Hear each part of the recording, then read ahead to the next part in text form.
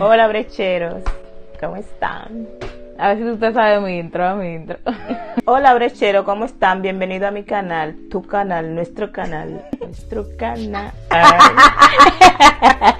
Esta Navidad, esta Navidad, yo quiero gozar, comprar una para vacilar, comprar una para vacilar. ¿Qué es lo que vamos a estar haciendo hoy? No sé, tú no me quisiste decir, pero Tú son sabes. preguntas incómodas, tú dijiste. El video se va a tratar de que mami va a estar respondiendo preguntas incómodas y estoy detrás de cámara. Y también hay un público aquí atrás, Diana y Rachel.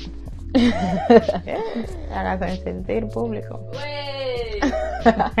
Diana es silenciosa. Entonces, yo voy a estar haciendo preguntas aquí. Eh, una suave y otra muy picantes. Mm. Ay, mamá. Ay, El bueno, banquito del acusado estoy.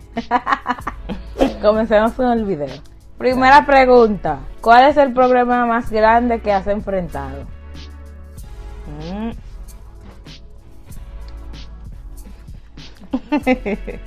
Problema más grande que he enfrentado. 20 minutos después. Puede ser en tu niñez, no tiene que ser ahora. No, mi niñez fue una niñez bo- bonita. No creo que haya tenido problemas. No, hubo una situación ahí, pero no. Porque ¿Qué? tú preguntas, pero yo respondo lo que yo quiero. Bueno, eres Lo que yo sabe. crea que pueda responder. Es el punto, ponerte en una situación incómoda. Ah, pues me pusiste en una Pero situación. tú tienes que dar una respuesta, ¿no? Desde Que el yo no- principio. ¿Qué es lo que siempre quisiste hacer, pero no hiciste? ¿Y por qué? Eh, bueno, yo, yo quise ser, eh, quise siempre ir a, a la universidad a estudiar, pero por situación de que eh, comencé a ser madre muy joven, no pude. Eso no es un, tampoco de, de una, un impedimento. Pero Tal vez no tenía la madurez necesaria en ese momento para, para enfrentarme a, como, como a, a luchar por eso, por, por lo que yo quería, que era ir a la universidad y tener una profesión. ¿Hubo algo que tus padres hicieron cuando eras ni- una niña y juraste que nunca harías? No, mis papás fueron siempre, por lo que yo pude percibir, no, fue todo bien. Cuando eras niña, ¿a qué querías dedicarte cuando crecieras? Bueno, uno siempre dice muchas cosas, que va a ser profesora, doctora, eh, ¿Y tú qué decías? eh, ¿cómo es? ¿Cómo es esta? Sirvienta. Sirvienta. Siempre cuando uno es niño dice eso. Cuando yo sea grande yo quiero ser sirvienta, doctora. Bueno, no llegaste muy lejos porque Pero tú me dijiste que tú querías ser bailarina. Oh, pero eso no, no era cuando chiquita, cuando muy pequeña. Eso Ya, fue más ya- grande. Sí, ya yo tenía más edad. Ah, bueno. ¿Cuánto es el mayor tiempo que has estado sin bañarte? Sin bañarme. Hay que ser sincero. claro. Mira, yo te iba a poner a ti a jurar por la Biblia. no, no, no, no, no. No, un día nada más. Un Eh, día. Cuando hace mucho frío. Pero siempre se baña algo, tú sabes. No, no, no siempre. No, no entero, no, no. Yo creo que no. Eh, bueno.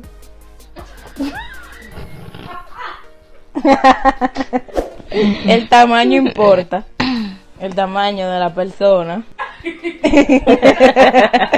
Eh, sí. No te gustan chiquitos. Tamaño normal. Cállate, precisamente venía yo de- detrás de, de, de un hombre que venía adelante. Y dije, a mí no me gustaría un hombre así tan chiquito. me pasó por la mente.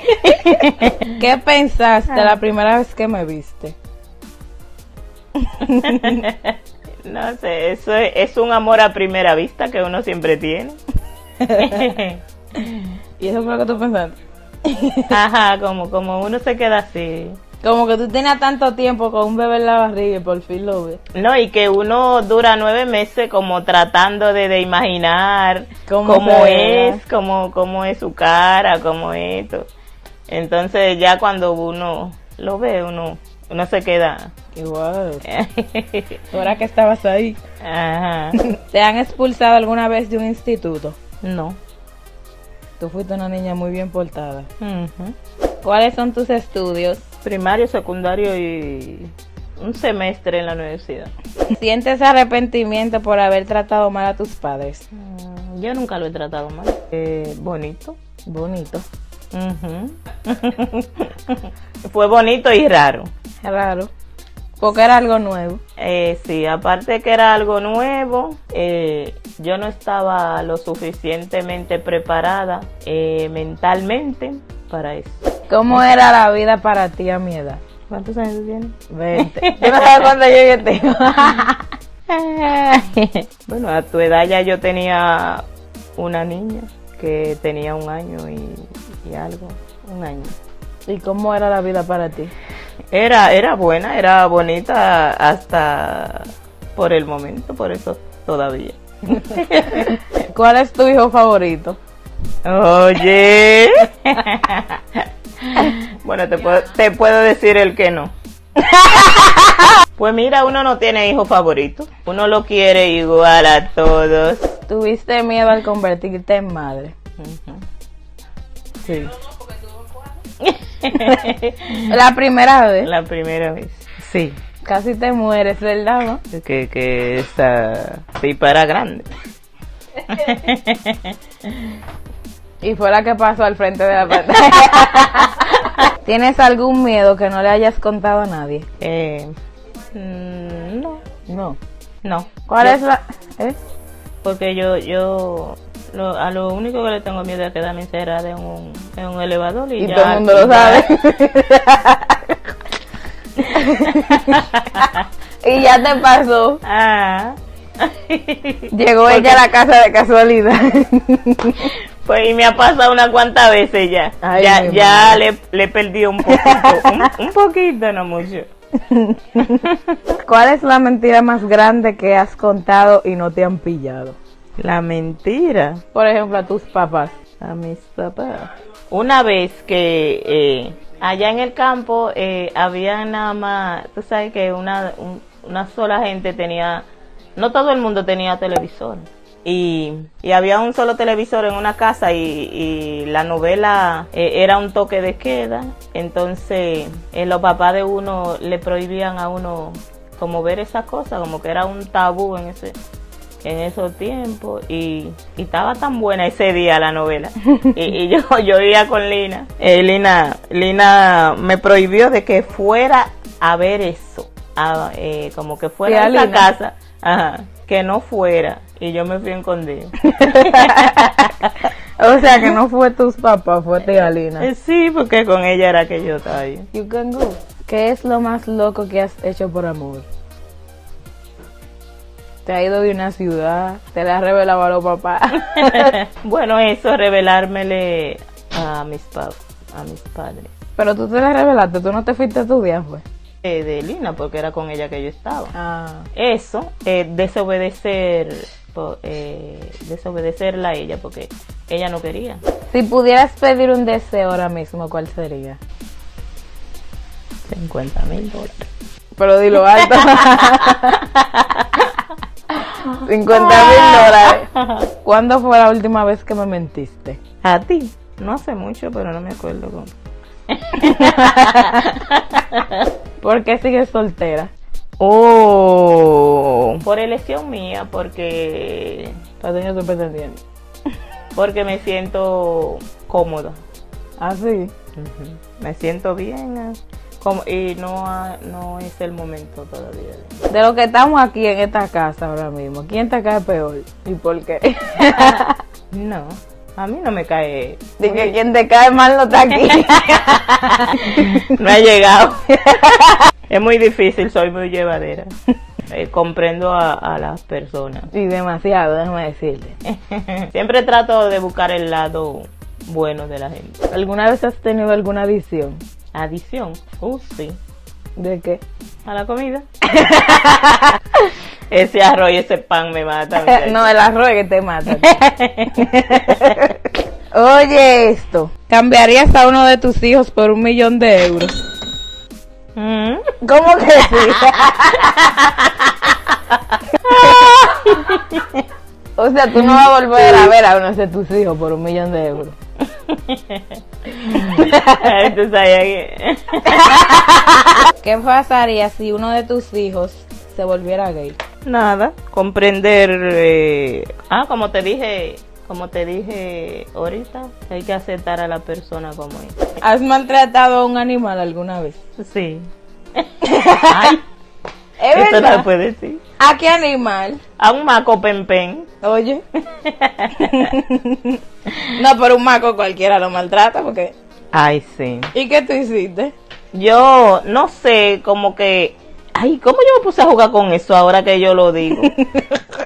Yo ¿Tú te estaba pusiste a jugar con un maco? Sí, yo le, yo le estaba, yo lo estaba apoyando con un palo. Ay, mami. ¿Y Pero era, tenía? ay, imagínate, yo estaba como Diana, yo creo. Ah, no. Y yo me acuerdo de eso, de que para qué yo me, yo me puse a hacer eso. A veces mente diabólica que tienen los niños. O Oh, curiosidad, ¿cómo que mente diabólica? Sí, los niños tienen a veces mente diabólica. Oye.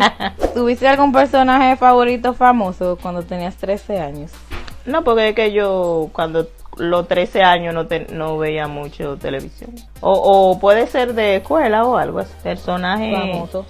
No, ¿Has robado alguna vez? sí. ¿Qué tú has robado? Ay, Dios. Un día cuando, cuando yo estaba embarazada, yo estaba embarazada de Rachel. Ay, esto lo van a saber. Ay, Dios. Yo recuerdo que a Bianni le hicieron una gelatina. Ay, que eh, a mí me parece que era Raiza que se la hacía. Y, y yo la vi esa gelatina tan bonita en la nevera. y le metí una cuchara. Le cogí una cuchara. Ay, Dios mío, qué vergüenza.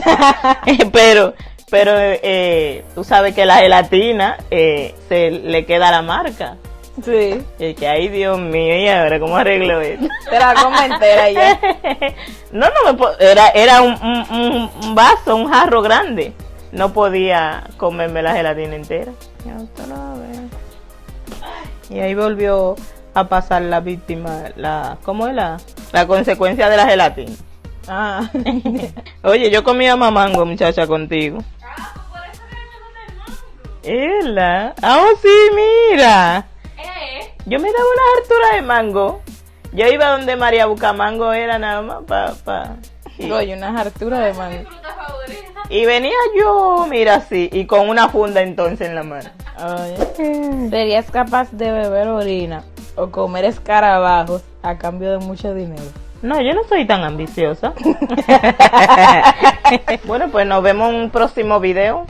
Suscríbanse, denle a la campanita que está abajo para que cuando Arlene le suba un nuevo video, pues les salga.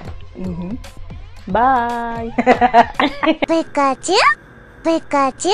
Otra vez que por fin pudiste grabar el video después de tres años diciéndote. Ay, sí, gracias a Dios salí de eso. es saliendo de mí que tú estás.